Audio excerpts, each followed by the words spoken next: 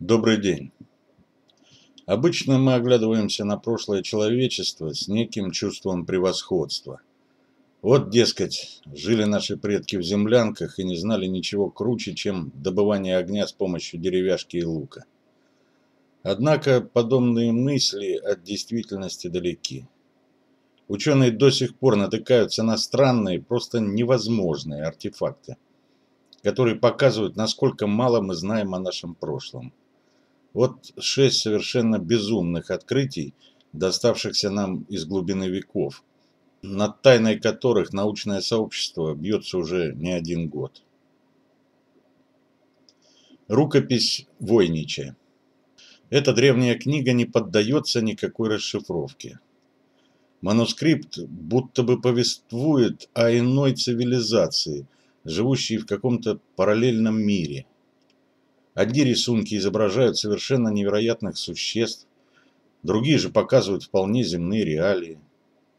Рукопись Войнича не может быть мистификацией, поскольку анализ текста показал его целостную структуру. Антикефирский механизм. Странный механизм был обнаружен водолазами у берегов Греции. Затонувший корабль перевозил множество совершенно обычных грузов и необычный артефакт, датированный сотым годом до нашей эры. Современные техники в один голос утверждают, что в то время такого механизма существовать просто не могло. Только спустя тысячу лет арабы и китайцы разовьются до этого уровня. Более того, антикеферский механизм очень точно показывает астрономические позиции планет, открытых лишь в наше время. Байгунские трубы. В 1996 году на горе Байгушань были найдены доисторические железные трубы. Два десятка труб выходят из скальных пород. Будто когда-то они обеспечивали вентиляцию некоему подземному комплексу. Анализ показал, что возраст артефакта превышает 5000 лет. В ту пору человечество еще железа-то не знало, и ученые просто не понимают, как такое вообще возможно. Гигантские каменные шары Коста-Рики. По всей Коста-Рике разбросаны гигантские каменные шары.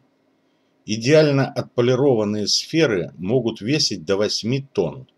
Но ученые находили и совсем маленькие образцы. В принципе, создать такие штуки мог бы и древний человек. Вот только нигде поблизости нет и следа каменоломен. Откуда они взяли материал? Багдадская батарея. При первом приближении группа археологов сочла артефакт очередным глиняным кувшином. Однако тщательный анализ заставил ученых буквально схватиться за голову. Очередная партия глиняных горшков имела внутри медный стержень с признаками кислотной коррозии. Если вы хоть как-то учились в школе, то уже должны понять, в чем дело. Вероятно, что в этих горшках когда-то была жидкость, которая взаимодействовала с медью и продуцировала электрический заряд. По сути, ученые нашли аккумуляторную батарею возрастом в тысячу лет. 1997 году Американское национальное управление океанических и атмосферных исследований зафиксировало странный звук в океане.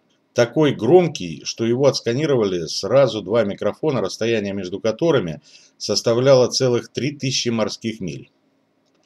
По волновой схеме ученые смогли определить, что звук был произведен животным. Но в природе не существует животных таких размеров.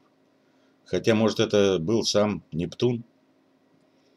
Вот совсем немного из того, о чем хочется говорить, хочется рассказать другим. Я думаю, в ближайших обзорах я вернусь к теме непонятного и неизведанного. Ну, на сегодня все. До свидания. Мир вашему дому. До встречи.